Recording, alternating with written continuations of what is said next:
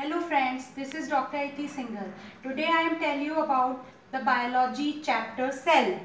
What is a cell? A cell can be defined as the basic structural and functional unit of all living things. Cell क्या है हमारी body का basic structure हमारी पूरी body किससे बनी हुई है? सेल्स से। सेल्स टिश्यूज बनाते हैं टिश्यूज ऑर्गन बनाते हैं ऑर्गन ऑर्गन सिस्टम बनाते हैं।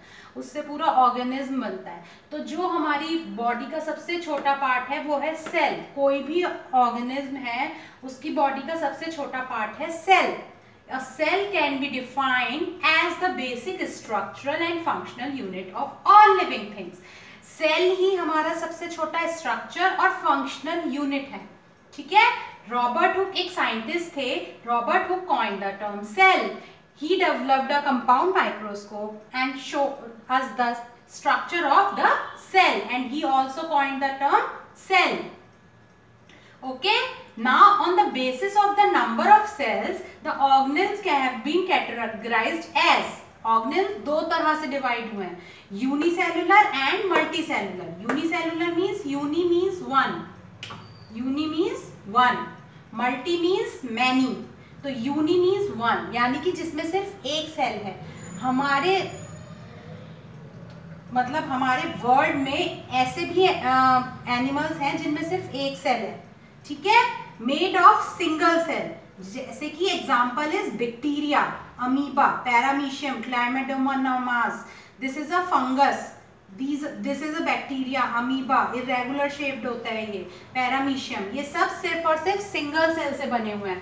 Amoeba is like this irregular shape paramecium is like this okay this is paramecium. This is amoeba these are made up of uni सिर्फ़ single cell these are unicellular organs okay and the multicellular like us human beings made of million billions of cells जैसे कि rose plant people tree deer lion human beings etcetera these are all multicellular organs now we will see the structure of a cell a cell contains three essential part वैसे बहुत सारे part होते हैं, लेकिन three essential part क्या है?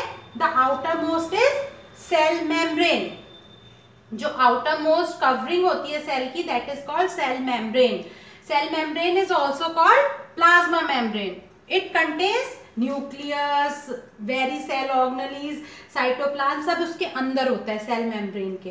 Plants में there is extra cell wall okay now the second part is cytoplasm cytoplasm is the inner fluid which is filled in the cell cell membrane के अंदर जो फ्लूड फिल होता है that is called cytoplasm okay the all the cell organelles all the parts are present in the cytoplasm number three is nucleus nucleus contains our genes DNA everything all the information is inside the nucleus of a cell okay now we will see the structure of a animal cell and a plant cell okay the common thing is cytoplasm both contains cytoplasm Animal cell also contains cytoplasm, plant cell also contains cytoplasm.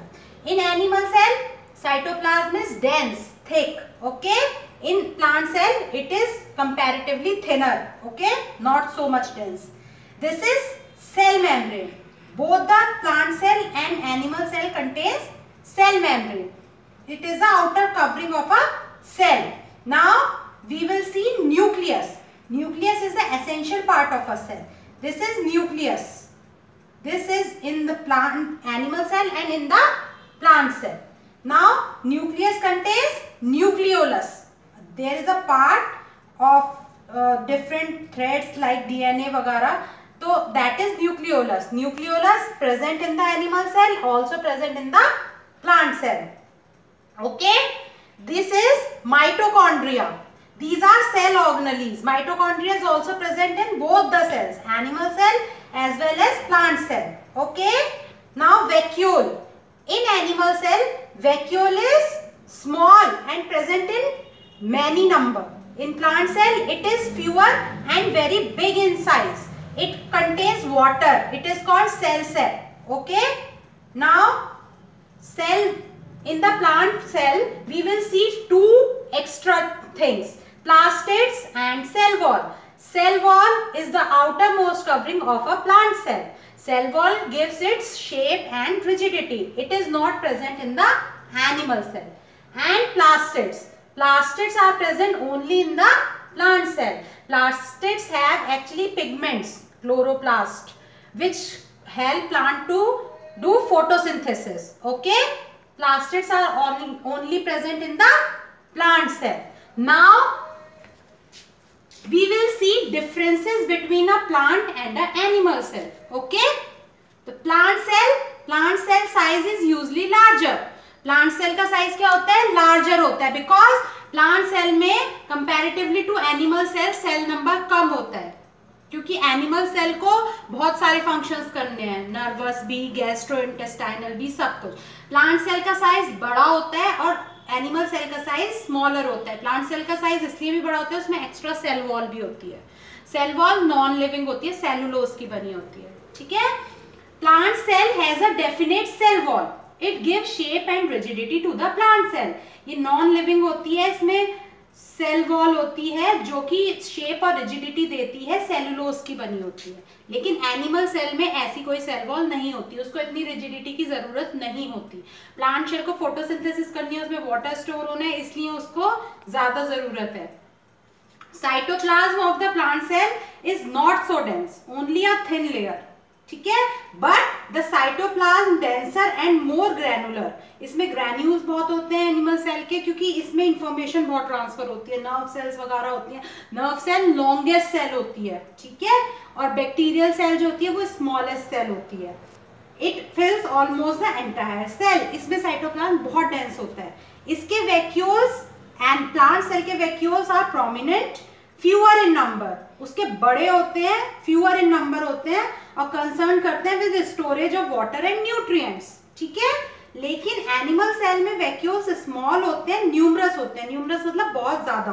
Concern with the excretion और secretion जो waste material का excretion और जितने भी pigments वगैरह का secretion होता है, वो वैक्यूल्स से होता है इन द एनिमल सेल इसमें क्या होता है प्लांट सेल में? It contains plastids But animal cell do not contain plastid. As I have told you earlier, plastids have pigments like chloroplast which help plant cell to do photosynthesis because they have to prepare their own food for their self and for ourselves also. Okay? Cell divide करती है, produce करती है to form a tissue. Tissue बनाता है organ, organ बनाता है organ system and organ system makes a complete organism.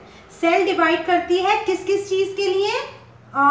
Replacement repair reproduction and growth ठीक है, जैसे जो सेल्स पुरानी होती जाती हैं, वो मरती जाती हैं तो उनको रिप्लेस करना है। और जिसमें डैमेज हो गया है, इसको रिपेयर करना है। और फिर नई सेल्स भी बनानी है रिप्रोडक्शन करना है, और बॉडी की ग्रोथ करनी है। ठीक है? तो this is our complete cell okay now in further videos we will see another topics. Okay? Thank you